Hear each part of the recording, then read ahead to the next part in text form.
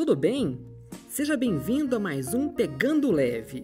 Nesse episódio, eu te faço um convite para viajar até a cidade de Goiás, mais exatamente, o Museu Casa de Cora Coralina, local onde viveu uma das goianas mais famosas do Brasil e uma voz feminina relevante para a literatura do país.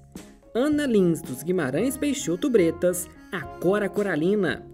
Parte do legado dela está na casa onde morou, a Casa Velha da Ponte, que se tornou um museu em 20 de agosto de 1989.